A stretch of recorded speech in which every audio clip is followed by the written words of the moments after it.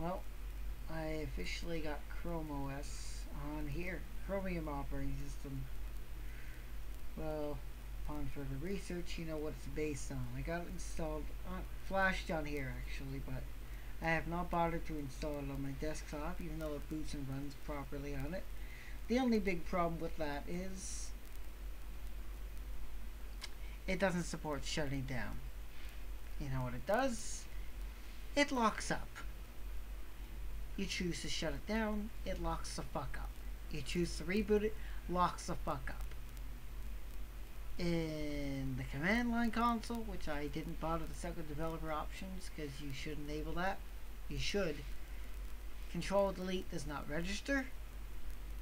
I couldn't reboot it from the console. Said a reboot did not work. It said command invalid for some reason. Yeah, that's a bit of a problem.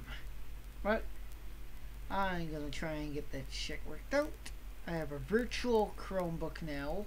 I'm probably gonna get installed on one of those portable hard drives I have that I've taken on my very first netbook. And a few iPods to say the least that were dead, but the drives were in good shape. They spun up and everything, which is fine. I mean, no, the iPod wasn't dead, but the screen was fucked. But whatever. And uh, I'm gonna get it installed in that drive and see uh, if I do shut it down. Does it actually turn off the drive? Because did on my desktop, but I wasn't able to fully power it off. I expected it to reboot. I expected it to uh, shut off, but it didn't either. Just the equivalent of the halt command. Does nothing, just halts it. Anyways, just thought I'd uh, make a short video, and if you're wondering, the camera, the camera to the left is bakoogled. I had to tweak around with a bunch of settings. Yes, this one. I had to tweak around quite a bit of settings to even get the pictures to work properly. Maybe because it's the dark. I don't know. It wasn't working properly. I couldn't see fucking shit whatsoever. This one to the right, however, is perfect. It's got no infrared filter. This one also doesn't have an infrared filter. But maybe it's because...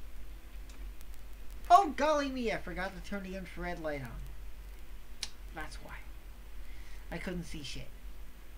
For the other camera, to the right, or to the left. So, oh well. Chrome OS installed in here. Well, ready to install in anything really. I just uh, don't know what I can do with it. But whatever. The only good thing about it is I can watch Netflix and other streaming services that try and restrict it based on the operating system we use at 1080p, which is better. Anyway, it's a lot better than 720. Considering my display is 900. Yeah.